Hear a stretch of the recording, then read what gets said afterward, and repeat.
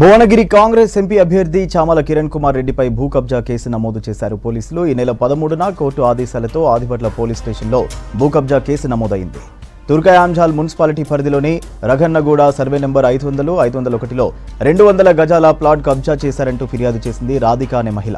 దీనిపై కేసు నమోదు చేసిన పోలీసులు కిరణ్ పై four forty seven four twenty seven five not six సెక్షన్ల కింద కేసు నమోదు చేశారు పోలీసులు.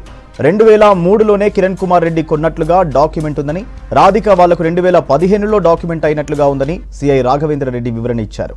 ఈ కేసులో ఇద్దరి డాక్యుమెంట్స్ తీసుకుని పూర్తి విచారణ జరుపుతున్నామని అన్నారు సిఐ. ల్యాండ్ విషయంలో డబుల్ రిజిస్ట్రేషన్ జరిగాయా లేదా అనే కోణంలో దర్యాప్తు చేస్తున్నామని తెలిపారు సిఐ. ఓటర్ కంప్లైంట్లో రాధిక వైఫ్ ఆఫ్ యాదగిరి రెడ్డి వీళ్ళు నల్గొండ వాస్తవ్యులు. వీళ్ళు ఇచ్చిన కంప్లైంట్లో భాగంగా వీళ్ళ దగ్గర ఒక survey number five hundred Ragannaguda Turkayamjal Abdullapurmet మండలం మండలం నందు. వాళ్ళకు ఒక two hundred yards plot plot number sixty five పరంగా సర్వే నెంబర్ ఫైవ్ హండ్రెడ్లో ఉంది.